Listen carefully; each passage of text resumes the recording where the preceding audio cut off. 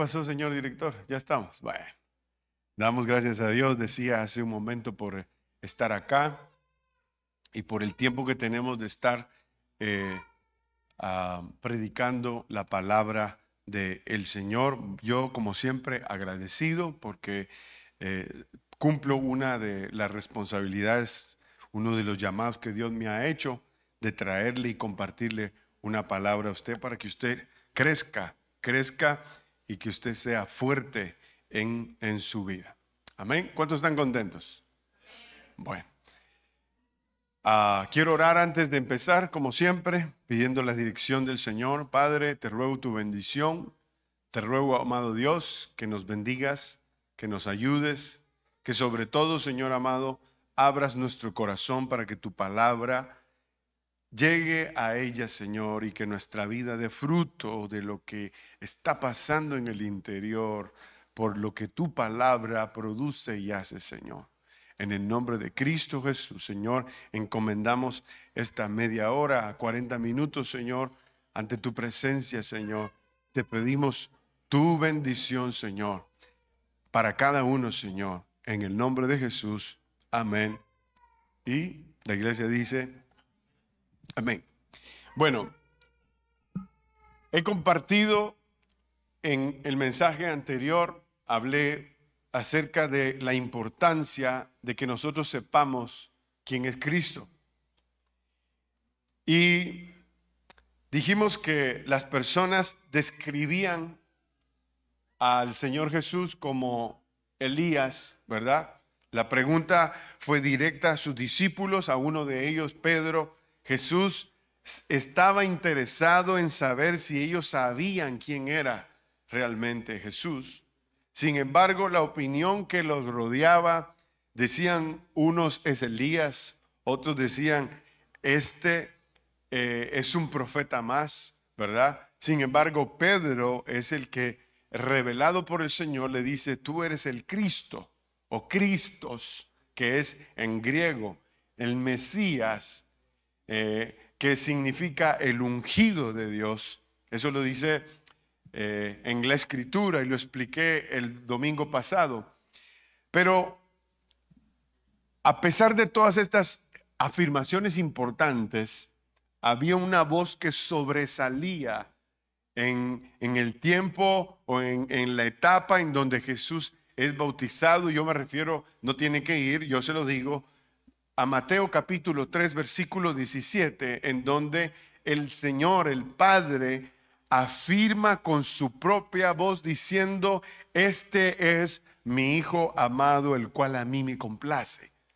Esa voz denotaba y hacía la diferencia de aquella eh, de aquel acto que regularmente se hacía con los reyes en el Antiguo Testamento, los cuales cuando el Señor los llamaba a través de un profeta, lo que ellos llevaban era aceite para afirmar aquel llamado de Dios. Para mí, este, esta escritura de Mateo capítulo 3, versículo 17 es súper importante porque es el padre el que está firmando a su hijo, escuche bien, con su voz y también no derramando el aceite sobre él, sino dándole de su Santo Espíritu para que habitara sobre Jesús. La Biblia dice en ese mismo pasaje de Mateo 3 que el Espíritu Santo no había descendido sobre nadie en lo absolutamente antes, había descendido o descendió sobre Jesús. Sobre Jesús vino esa bendición de que el Espíritu Santo fue derramado sobre Jesús para permanecer en él. Entonces, Cristo tiene una identidad y un carácter el cual lo define a él como hijo de Dios. Y de eso es lo que hoy vamos a hablar el día de hoy. Vamos a hablar de la identidad y también del carácter del Hijo de Dios. Isaías 61, ahora sí me va a acompañar a las pantallas o encienda su Biblia en el celular o también puede abrirla en su Biblia física en Isaías 61, por favor.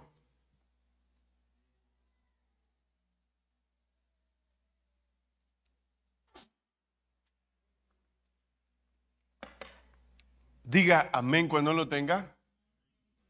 Y dice así, el Espíritu de Jehová, el Señor, está sobre mí, porque me ha ungido Jehová, me ha enviado a predicar, que dice, buenas nuevas a los abatidos. Pero note, perdón que me adelanto, pero note usted lo que dice en las, en primeras, en las primeras líneas del versículo. Dice, el Espíritu de Jehová, el Señor, afirma, está sobre mí. Otra cosa importante es, dice, porque me ungió un profeta. ¿Cómo? ¿Quién lo ungió?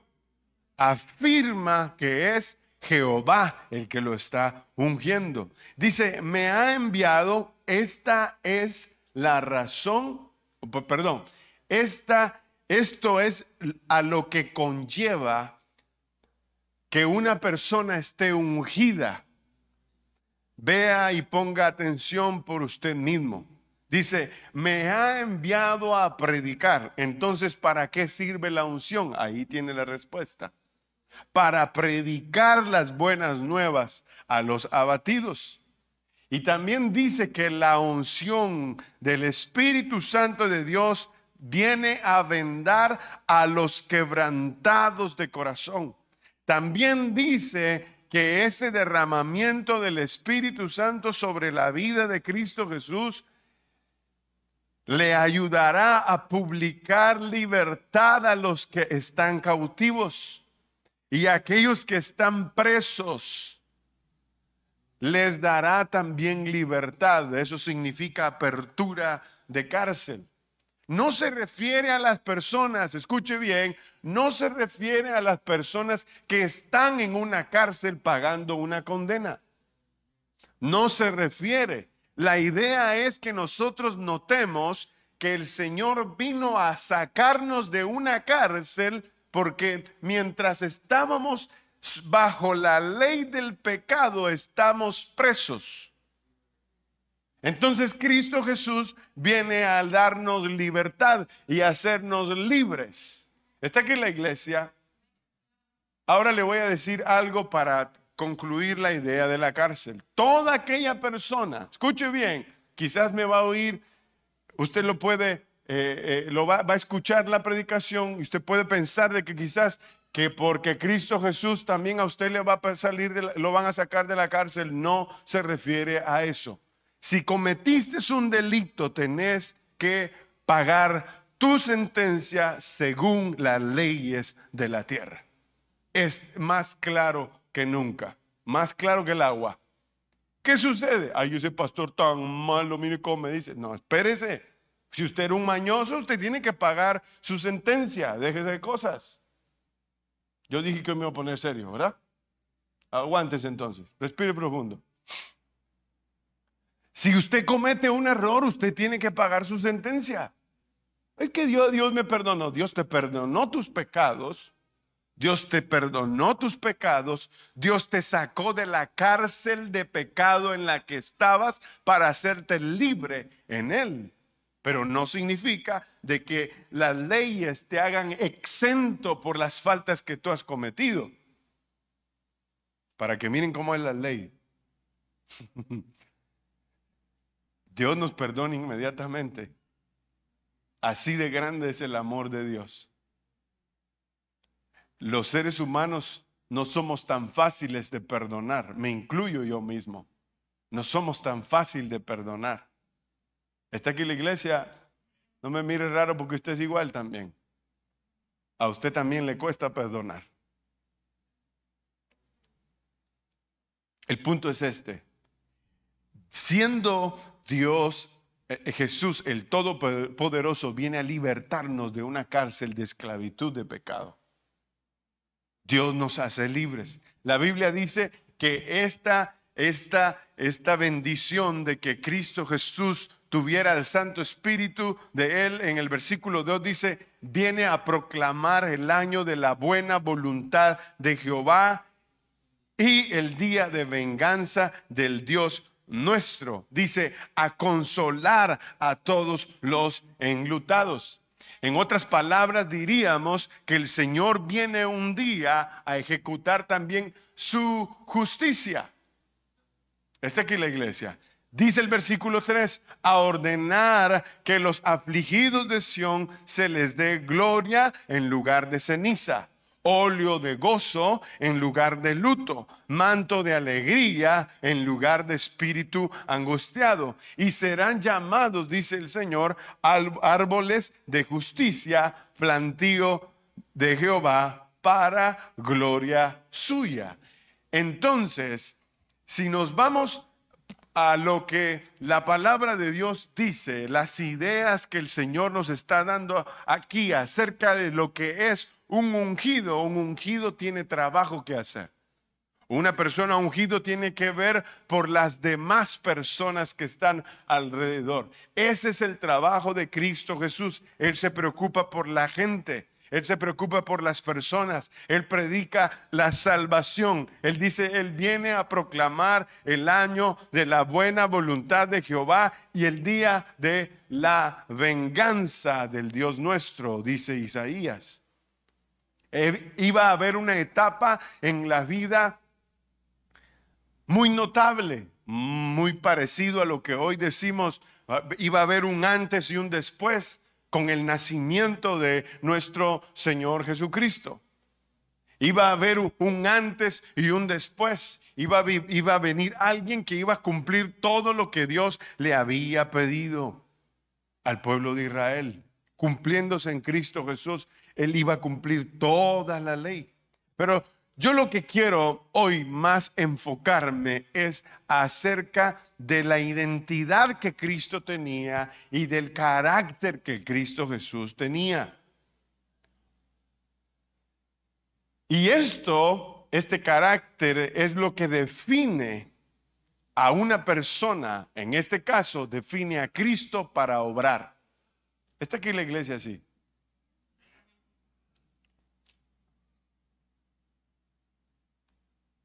Usted está definido o medio definido. Usted se levanta en la mañana y usted va a hacer sus tareas y sus quehaceres. ¿Verdad? Usted dice, yo voy ahora aquí, yo voy ahora allá. Usted tiene, le voy a decir esto, no por faltarle el respeto, se lo voy a decir para que nos vayamos metiendo un poquito más en el tema, pero usted tiene un chip instalado en la cabeza suya de obrero. Usted va y trabaja. Es más, usted siente orgulloso de meterle las 12 horas y es un campeón, ¿verdad? Cuando llega al final el viernes dice, es tremendo este hombre, le ha metido 65 horas eh, en la semana a la empresa, Usted dice, soy tremendo, dice usted. Ahora sí. Y eso lo define a usted como un buen trabajador, una persona esforzada, se levanta temprano, ¿verdad? ¿Cómo es su nombre? Fulano de tal, ya tiene una identidad. Y su labor, su labor, su trabajo lo identifica en la sociedad. ¿Está aquí la iglesia, sí o no? Pues para eso le explico esto, para que usted entienda esta parte acerca de Cristo. Cristo tenía que ir a aquellos a los cuales estaban necesitados, estaban quebrantados del corazón. Cristo vino a libertar. El punto es este, que la iglesia hoy en día carece de la identidad y de carácter. me tomo un trago yo primero y después respire usted profundo.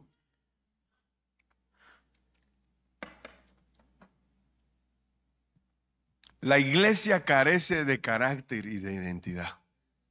Nos acostumbramos a venir uno o dos días a la iglesia. Nos acostumbramos a que las cosas sean rápido.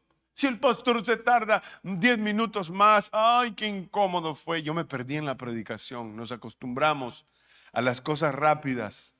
Queremos que si pedimos un milagro, si estamos pidiendo o tenemos una necesidad y estamos pidiendo a Dios su intervención en cualquier circunstancia que estemos viviendo, nosotros queremos todo absolutamente rápido.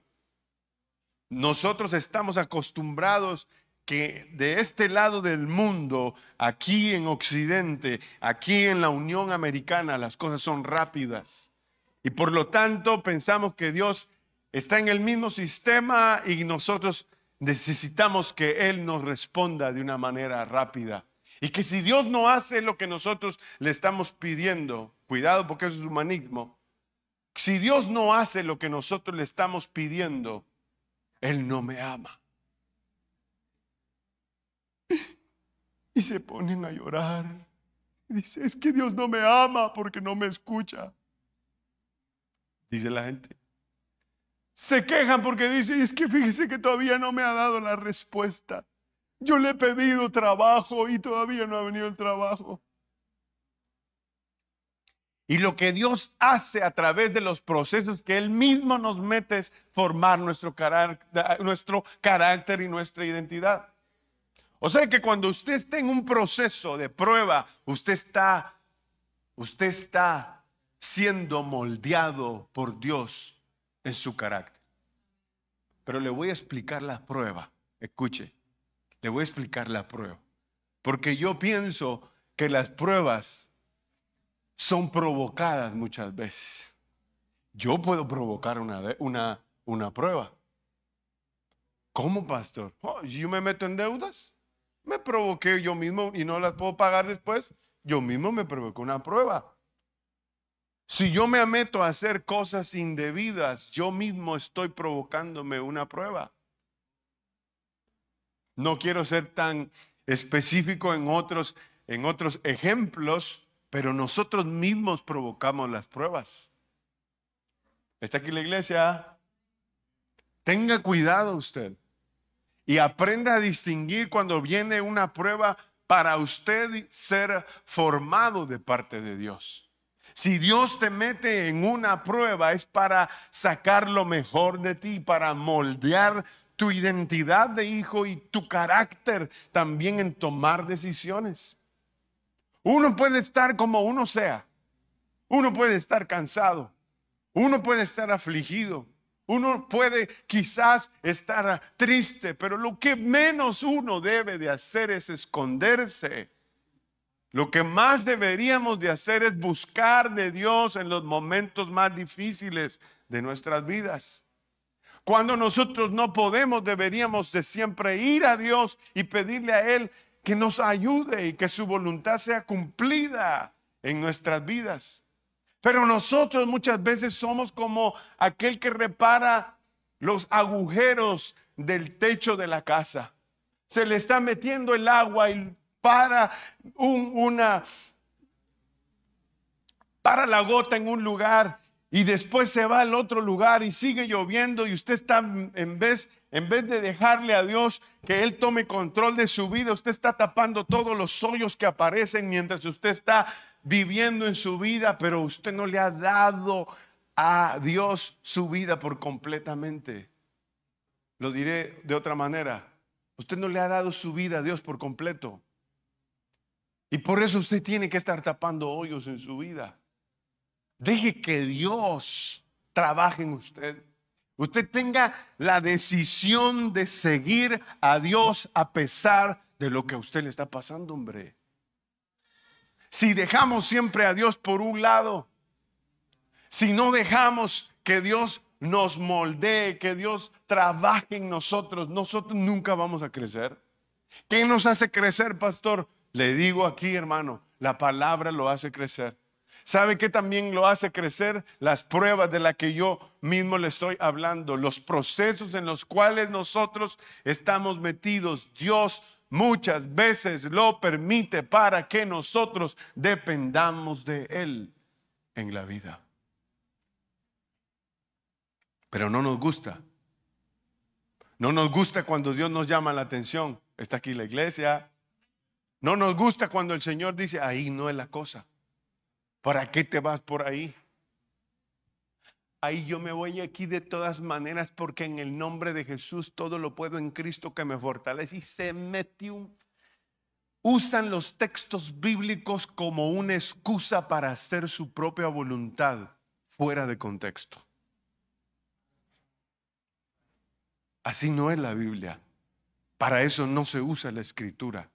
Cuando uno dice realmente que quiero vivir por fe, cuando uno dice realmente quiero vivir para agradar a Dios, lo que tengo que hacer es alimentarme de la fe. La fe no es el, lo que va a pasar en el proceso mientras yo digo lo que va a suceder.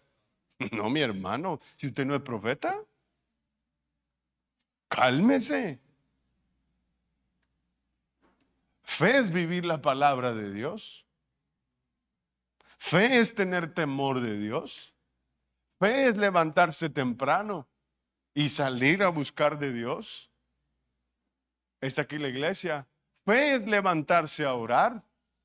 Fe es doblar tus rodillas en tu cama. La práctica de la fe. Doblar tus rodillas en tu cama. Pedirle a Dios su misericordia. Está aquí la iglesia. No está o no, no es fe cuando se dicen palabras eh, en beneficio de otra persona para que le suceda esa, eso que es el deseo del corazón de alguien. Eso no es fe. Simplemente es un deseo del, corazón. Y ahí va, me van a decir, pero la palabra dice que nosotros tenemos el poder en nuestra lengua. Sí tiene el poder, por eso hable bien. No todos son ministros en la iglesia. No a todos les dieron la autoridad. Esos son rollos que ahora han inventado. Y yo le declaro una ¿Qué declaro palabra. Lea la escritura. La identidad y el carácter de Cristo Jesús nos da a nosotros, valga la redundancia, una identidad en Cristo a alguien a quien nosotros debemos de imitar, a alguien a quien nosotros debemos de seguir. En estos días platicaba con alguien, bueno, yo no platicaba, la persona solita abrió su corazón, su boca y dijo, este, tal persona, tal unción y no sé qué, y empezó a hablar unas cosas que pasaban y decían en el lugar donde se, donde se congregaba. Yo me quedé callado. Yo me quedé callado porque, primero, yo, para, yo no estoy para defenderme. Si a alguien le gusta, le parece lo que nosotros enseñamos en la iglesia, es bienvenido. Todos son bienvenidos. Todos son bienvenidos a la casa. Todos son bien tratados a la casa. Tu iglesia quizás allá donde tú vivías no va a ser igual a la de aquí, por supuesto. Discúlpeme, pero ahora usted está aquí viviendo. ¿verdad? Y como yo soy muy buena gente, yo les digo a la gente, yo te recomiendo con todas las iglesias que hay aquí, anda y escoge. Anda y escoge tu iglesia, anda y escoge el lugar donde tú te quieres congregar.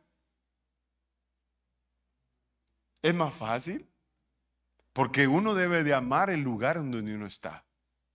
Está aquí la iglesia. Por lo menos los que sirven digan amén. Disciplina después del culto y van a ver.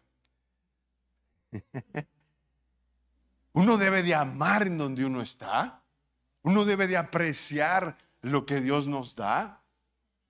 Uno debe estar entregado y comprometido en donde uno está. Pastor, pero si estamos hablando acerca, estamos hablando acerca de cómo Cristo Jesús servía.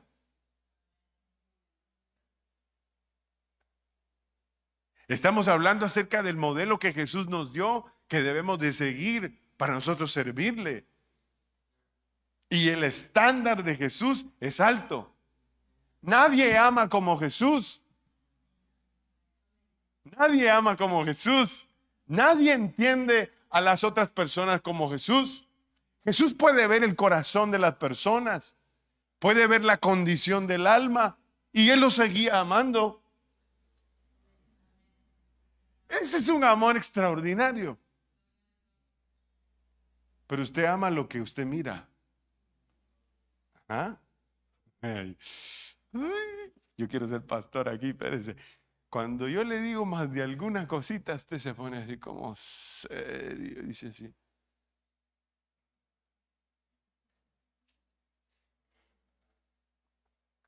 Ay, ahora no me gustó el pastor. Y yo no le tengo que gustar a usted. Usted lo que tiene que es, mire, la palabra. Si por algo me tiene que amar usted a mí, es porque yo le predico la verdad. Ya está. Después nos tomamos un café, ya, ya está.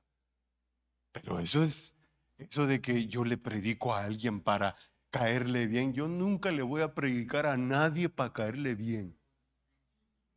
Y estoy en las redes sociales predicando. Yo no predico para caerle bien a nadie. Es más, les caigo mal a algunos. Pero a mí no me motiva lo que las personas, la opinión de los demás. No, no. Tenemos que realmente hacer la obra de Dios y que la obra de Dios dé, el, de un efecto, sea prosperado por Dios lo que estamos haciendo. Entonces veremos que estamos haciendo la obra de Dios. Quienes critiquen siempre van a ver critican, van a criticarnos porque hacemos misiones, van a criticarnos porque nos levantamos a las 5 de la mañana a orar, nos van a criticar porque nosotros nos reunimos el fin de año a, a despedir el año y a recibir el año nuevo, nos van a criticar. Pero el punto es este. Si usted está dispuesto, a pesar de esas críticas, a vivir bajo esta presión, usted está en un buen camino porque usted está haciendo la voluntad de Dios. Hay que hacer un extra esfuerzo para vivir, mis hermanos. No puede ser de que nosotros siempre demos un esfuerzo para o nos esforcemos más para trabajar que para servir a Dios. No, no, no, mi hermano. Si usted llega a las eh, no sé, la hora de entrada de su trabajo y le dicen usted tiene que estar cinco minutos antes en su trabajo, aplique lo mismo para la iglesia. ¿Sabe por qué? Porque Dios es más grande y más poderosa, más poderoso que la empresa en la que usted trabaja. ¿Sabe para quién trabajo yo? Para Dios. Usted también debe de pensar que usted trabaja para Dios. Esa es identidad identidad, identidad de pertenecer, identidad de hacer las cosas que aquel que nos ha llamado nos ha dejado que hagamos. Entonces, un cristiano, y aquí nos vamos a meter un poquito, eh, un poquito más, nuestra nueva identidad en Cristo nos identifica que nosotros somos hijos de Dios por nuestro Salvador Jesucristo. Entonces, ¿cómo conocemos nosotros la identidad de Cristo? Lo afirma lo el Padre, ¿verdad? Lo afirma Él, el Padre que está en los cielos. Dice que nosotros somos hijos de Dios a través de nuestro Salvador Jesucristo.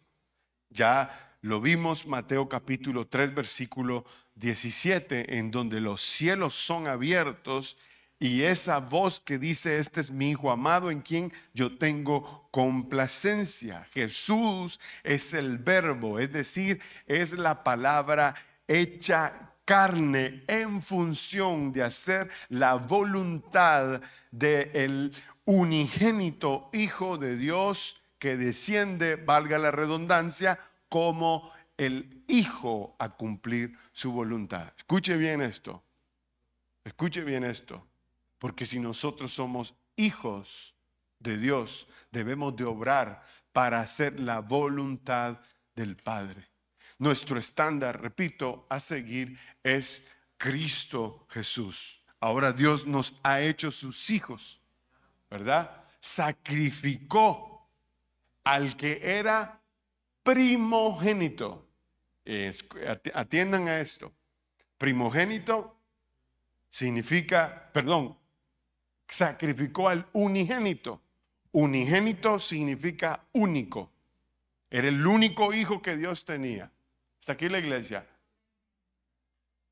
Pero cuando Él viene a la tierra, cuando Él da su vida por nosotros, es decir, sacrifica su vida, nos perdona por el, el, perdón de pecados, viene a través de la sangre de Cristo que nos libra de todo perdón. Él pasa de ser único a ser primogénito. ¿Se entendió? Si no, regrese la cinta. De ser único, Él pasa a ser primero. ¿Por qué, pastor? Preguntaría usted. Porque Él nos ha adoptado en Él. Jesús nos adoptó a nosotros en su sacrificio para que nosotros ahora seamos hijos de Dios. Dice amén la iglesia. Dele un aplauso al Señor fuerte.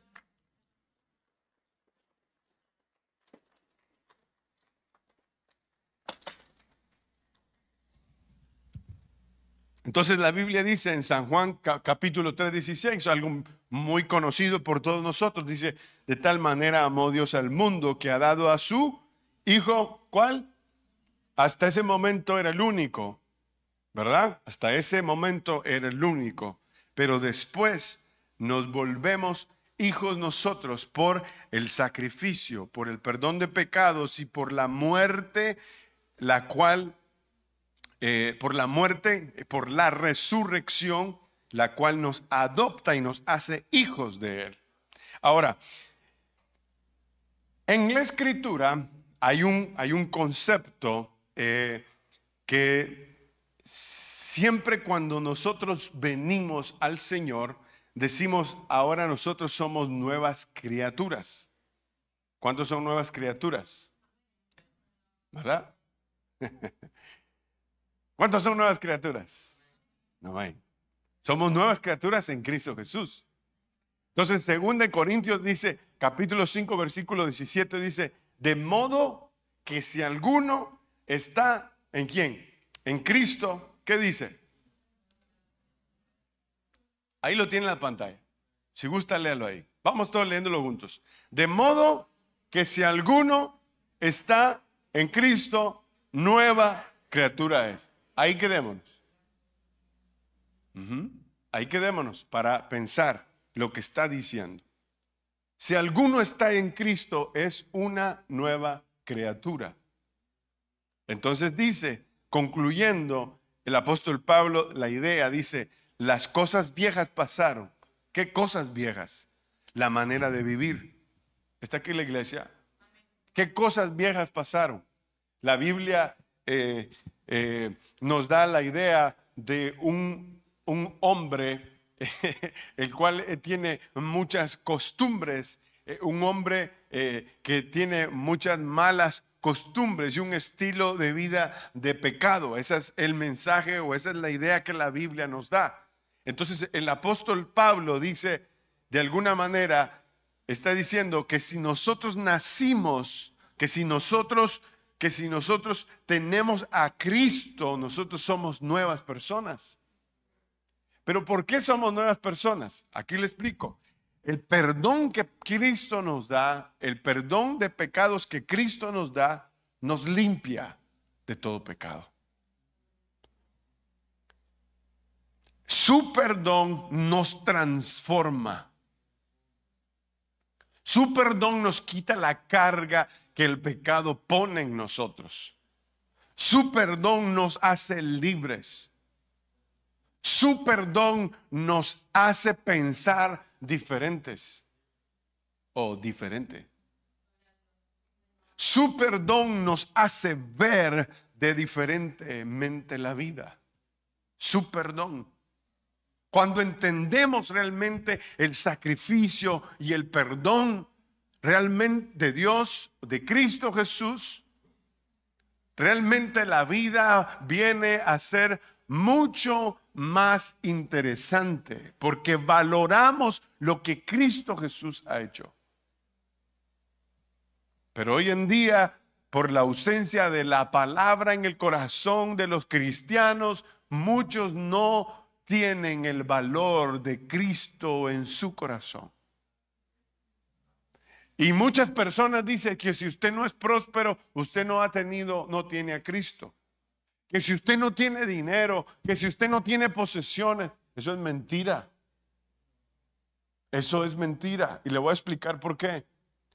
Cristo vino a salvarnos para darnos vida eterna. Ese es el plan de salvación. Cristo no vino a salvarnos para llenando las bolsas de dinero. No. ¿Cómo se nos llenan las bolsas de dinero a los cristianos? ¿Quieren saber? Vamos a ir a una pausa y ahorita regresamos con usted. es broma. es broma. sí, dijeron todos, nos vamos a ir del aire. No, espérese. ¿Cómo es? ¿Cómo es que uno es próspero? Viviendo principios. Ya está. Eso es simple y sencillo. Viviendo principios. La Biblia habla de principios que nosotros debemos de aplicar para ser bendecidos por Dios. ¿Usted quiere ser bendecido por Dios? Ah, lo voy a repetir otra vez. ¿Cuántos quieren ser bendecidos? Viva los principios. Simplemente. La Biblia dice es mejor dar que. Pero ¿para qué extendemos la mano nosotros? ¿Para qué? Para pedir. ¿Sí o no? Dice que yo tengo una gran necesidad usted. Pero viera qué gran necesidad la que tengo. Y lo que hace es, ¿qué hace? Pedir. ¿Y qué dice la Biblia? Que es mejor que que recibir. Entonces la bendición de Dios viene o la prosperidad va a venir porque nosotros no seamos codos. Esto es en la versión mía. Ya, sigamos adelante. Entonces dice la, la palabra de Dios en el mismo capítulo de 2 de Corintios capítulo 5, 17. De modo que si alguno está en Cristo, nueva criatura es. Entonces dice la Biblia, las cosas viejas pasaron. Aquí me quiero quedar un ratito. Porque muchos de nosotros podemos estar viviendo con el antiguo yo. ¿Está bien? Pues no voy a decir nombre para que no piense que yo estoy hablando de usted. Pero por si acaso aquí le va. Dice, las cosas viejas pasaron. He aquí, todas son hechas nuevas. Si las cosas viejas no han pasado, es decir, si yo tengo el mismo comportamiento de antes, yo necesito a Cristo. Yo no he entendido realmente el perdón de pecados. Le voy a decir de otra manera. Si usted frecuentemente recurre a tener un pecado y a la práctica de ese pecado, usted necesita nacer de nuevo. Usted no es cristiano. Es que fíjese, pastor, que a veces a mí me dan ganas, nazca de nuevo y déjese de cuentos, hombre. ¿Qué quiere? Es que yo quiero que oren por mí. No, no, es que estamos hablando acerca de identidad y de carácter. Yo puedo orar por usted, pero eso no va a cambiar su identidad. Impóngame las manos y sácame todos los demonios que tengo. Ni que te tire un baño de agua fría vas a cambiar. Porque tenés que aprender a decidir. Está aquí la iglesia. Tenés que aprender a decidir, a dejar al hombre por un lado, el hombre viejo, a dejar las cosas viejas, porque han pasado, han pasado, ya fuimos perdonados. Es decir, no tenemos que vivir de acuerdo al pasado que nos fue perdonado, sino que debemos de vivir el perdón en el presente en el que estamos y caminar hacia adelante, dejando el hombre viejo atrás. ¿Se entendió? Sigamos adelante. Entonces, nosotros entendemos que el que realmente ama a Dios es el que ha dejado esas cosas pasadas. ¿Por qué digo esto? Porque si yo sé que Dios me perdonó, ya no quiero seguir o no voy a vivir en las mismas cosas del pasado. Es un privilegio ser hijo de Dios.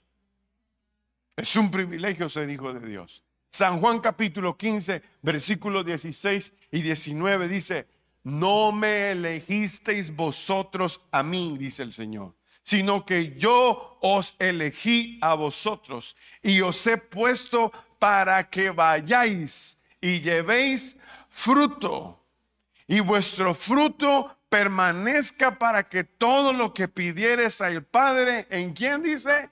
En mi nombre, en el nombre del banco, en el nombre de la institución bancaria, en mi nombre, dice el Señor, para que todo lo que pidieres al Padre en mi nombre, os lo dé. Esto os mando que os améis unos a otros. ¿Se da cuenta? Yo vacilé con el banco, pero no está hablando acerca de eso. Estos son versículos muy mal interpretados.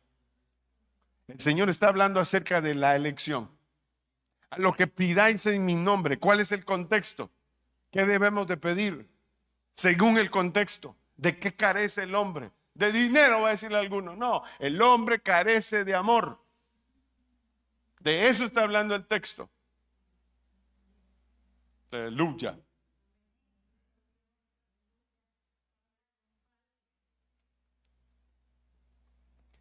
Entonces sigue diciendo, que os améis unos a otros.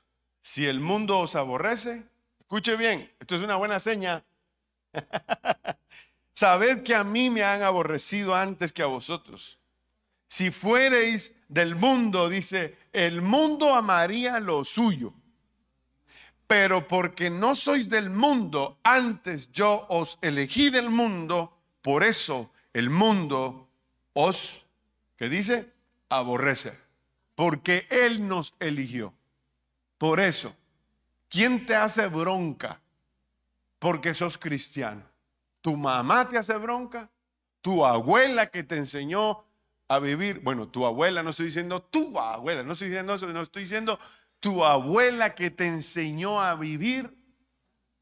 ¿Me explico? Que te enseñó una cultura religiosa. Está aquí la iglesia en aquellas cosas que nosotros nos estamos enredando todo el tiempo. Pero ya que hablamos de cultura, tengamos mucho cuidado de esto. Porque Cristo Jesús vino a cambiarnos nuestra cultura también.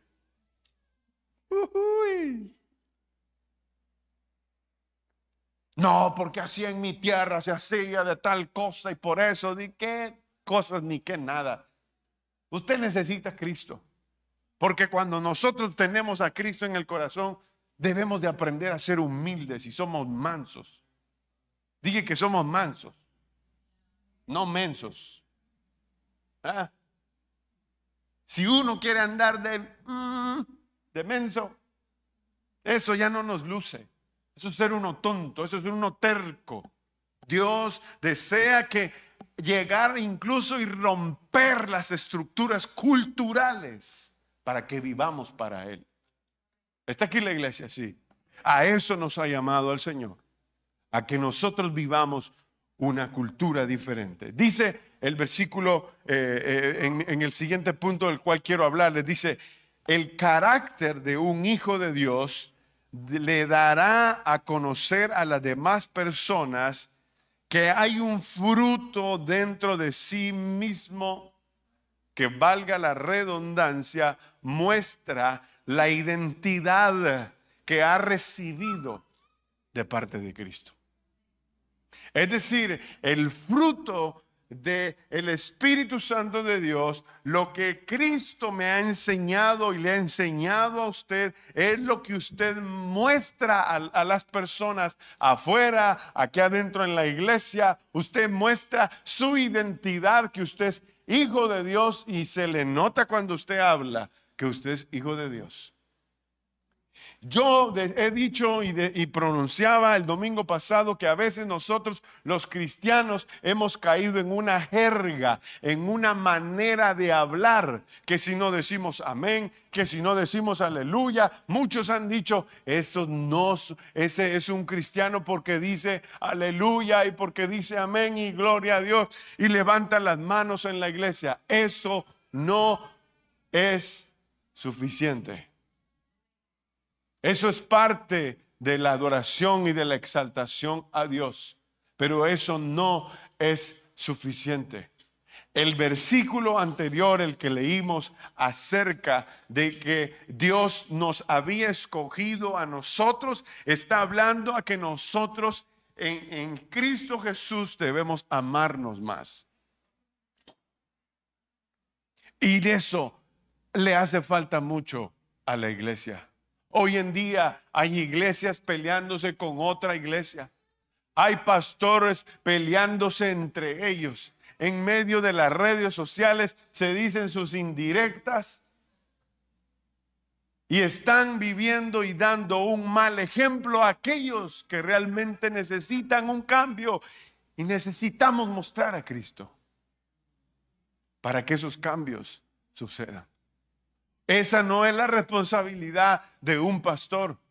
Esa es la responsabilidad de todo aquel que se llama ser hijo de Dios.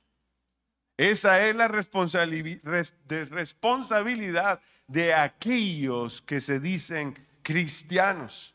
Entonces, la identidad se recibe porque Dios nos dio su identidad de hijos, nos da esa identidad de hijos pero el carácter es formado. Está aquí la iglesia, ¿están aburridos? Ah, bueno, pues.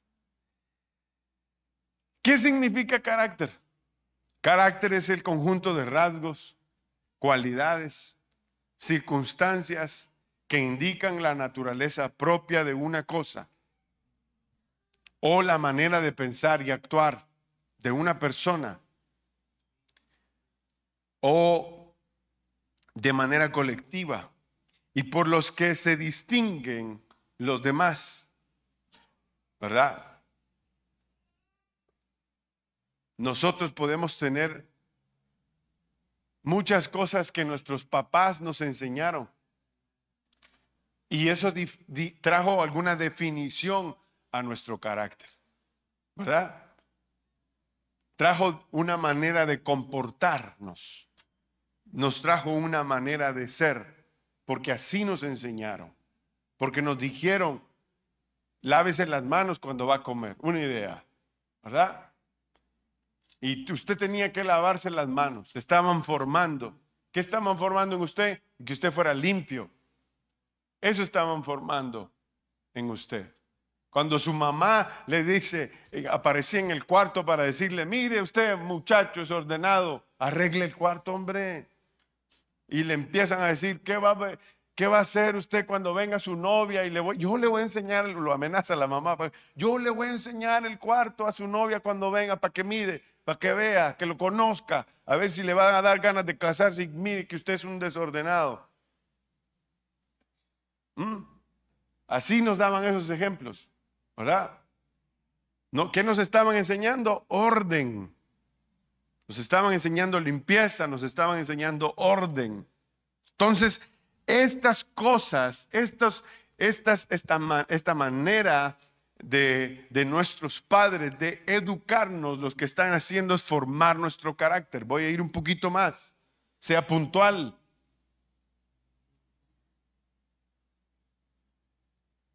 Ninguno dijo amén.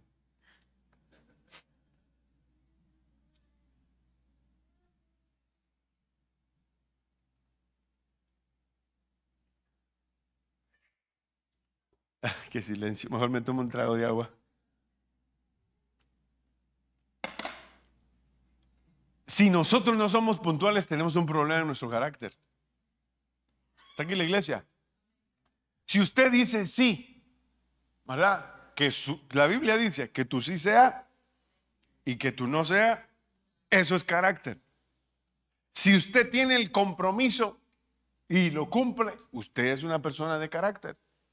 Usted no deja votado a nadie, ¿verdad? Pero si usted está entre que, entre este, un dicho guatemalteco, si usted está entre Jerez y la frontera, que usted no sabe para dónde va y para dónde viene y si se va a hacer y que, que como cantinflas, ¿verdad? Y Cantinflas decía que no sabe si se iba para adelante o se iba para atrás. Usted, usted no está en nada, hermano. Usted no está en nada.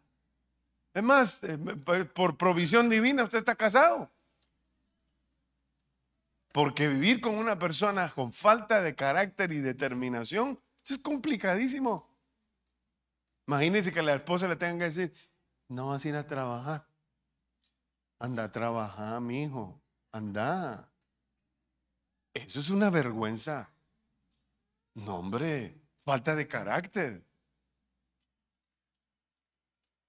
Ciertamente yo me pongo a jugar un ratito para que no duela mucho, pero este, es como la anestesia para yo decirle algo a usted, ¿verdad? Bueno, pues. Entonces, sigamos y ahorita termino. Ya los voy a dejar en paz porque ya me di cuenta que ahorita le quiero decir algo. El carácter también se muestra en las decisiones que tomamos. Y aquí vamos a ir a la Biblia. Cuando el Señor Jesús está en una tentación, Mateo capítulo 4, versículo 2, ese no lo, no lo puse, yo se lo voy a decir, en donde Jesús es tentado por el enemigo, él está 40 días, dice su palabra, y 40 noches, él está teniendo un ayuno, él está metido en oración y de repente viene el enemigo a tentarlo. Jesús tiene hambre probablemente y el enemigo le dice, ah, ahora sí, si tú eres el Hijo de Dios, haz que estas piedras se conviertan en el pan. Y el Señor lo, de, lo para. ¿Y qué le dice? No solo de pan vivirá el que dice, sino de qué? Pero dígalo con ganas. ¿De qué va a vivir el hombre entonces? De la palabra de Dios. Eso es lo que el hombre necesita. Ahora le voy a decir algo, le voy a decir algo.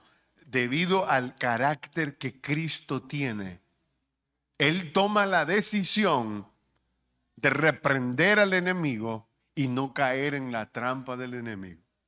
Y aquí está lo que le va a ayudar a usted a definirse. Que cuando usted diga no a la tentación, usted está dando testimonio de que Cristo Jesús está en usted, en que su identidad de hijo, ah, usted la ha adoptado tanto que cuando venga la tentación, lo que usted hace es echar al diablo para afuera porque usted le puede decir al enemigo, no solo de pan vivirá el hombre, sino de toda palabra que sale de la boca de Dios. Lo que Cristo Jesús está diciendo es, en medio de la tentación que yo esté pasando, Él siempre me va a sostener. Dios siempre me va a sostener. Él es mi sustento. Si tengo una prueba, Él será mi sustento. Si tengo una situación, Dios es mi sustento, pero no renuncio a la identidad del viejo hombre. Aleluya. El carácter de Cristo nos muestra sumisión. El carácter de Cristo nos muestra obediencia. El carácter de Cristo nos muestra amor para Dios y los suyos. La práctica de la humildad. Lo que Jesús siempre hacía era orar. Lo que Jesús siempre hacía era buscar la santidad. Lo que Jesús siempre hacía era ser manso. Lo que siempre Jesús hacía era enseñarle a otros a que deberían de ser compasivos y comprender a los demás. Lo que Jesús hablaba era justicia y equidad. Lo que Jesús siempre hablaba era de perdón. Lo que Jesús siempre habló era de que Él tenía un compromiso de ser la esperanza al mundo y llevar su paz al mundo entero y a todo aquel que le escuchaba. Ese era el compromiso de Dios. Y eso es tener carácter en Cristo Jesús. Nosotros probablemente nos preguntaremos, ¿será que yo todavía estoy en las obras antiguas? Todavía estoy aquí encadenado al viejo hombre. Pues déjeme decirle, mi hermano, la respuesta la tiene usted mismo. Usted sabe cómo está, usted sabe cómo vive y usted sabe al final si usted necesita más y más de Cristo cada día. Porque solamente Cristo nos puede cambiar nuestra identidad.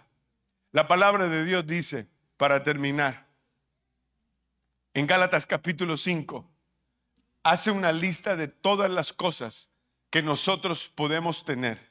Digo pues, dice, si nosotros andamos en el Espíritu, si nosotros hemos andado en esa nueva identidad, hay una lista en donde usted y yo nos podemos identificar si realmente tenemos a Cristo en el corazón. Dice, andad en el Espíritu, dijo el apóstol Pablo a los Gálatas, y no satisfagan los deseos de la carne, porque el deseo de la carne es contra el Espíritu y el Espíritu es contra la carne, y estos se oponen entre sí para que no hagáis lo que quisierais. Pero si sos guiados por el Espíritu, ¿qué dice? No estáis bajo la ley. Y empieza a decir, porque manifiestas son las obras de la carne, que son, y ahí dice,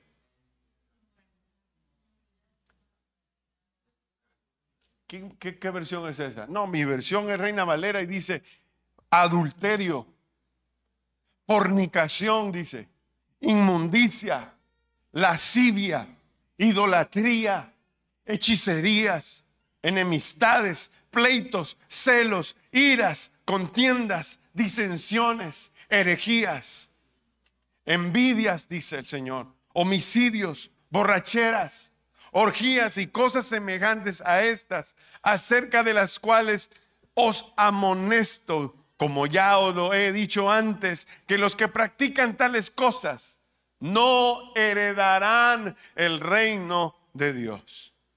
Eso está claro para cada uno de nosotros. Pero aquí viene lo extraordinario del texto. Mas el fruto, si Cristo está en nosotros, daremos fruto de que Él está en nosotros. Mas el fruto del Espíritu es hagamos una pausa. ¿Por qué dice la Biblia espíritu aquí? Escuche bien. Esto lo hemos explicado los miércoles. Si usted tiene a Cristo, va a tener al Espíritu Santo de Dios. Entonces la escritura está diciendo, más el fruto del Espíritu, es decir, como Cristo está en usted, también el Espíritu Santo está en usted. Y sigue diciendo, el fruto del Espíritu es amor. ¿Y qué más? Gozo. Vamos, paz, paciencia, benignidad, bondad, fe, mansedumbre, templanza. Contra tales cosas dice, no hay ley. Pero los que son de quién? No, dígalo fuerte, los que son de quién? Los que son de Cristo han crucificado la carne con sus pasiones y sus deseos. Yo soy de Cristo, usted es de Cristo y eso hace la diferencia en el mundo. Eso hace la diferencia en el mundo de que somos nacidos de nuevo por Cristo Jesús. Si usted necesita nacer de nuevo, si usted no aguanta la vida que tiene, usted tiene una razón para entregarle su vida a Cristo. Él le puede cambiar la vida. Usted necesita a Cristo. Y me preguntará y dirá, ¿y qué hago, pastor? Denle su vida a Cristo y su vida va a ser transformada completamente. Pero le pido, le pido por favor que se asegure hacer esta oración. Dígale al Señor, yo te entrego mi vida que no te quede ni siquiera un espacio en mi corazón. Sé tú el Señor de mi vida, sé tú mi Señor de todos los días que tú me des, sé tú mi Salvador. En el nombre de Jesús te lo pido. Amén y Amén.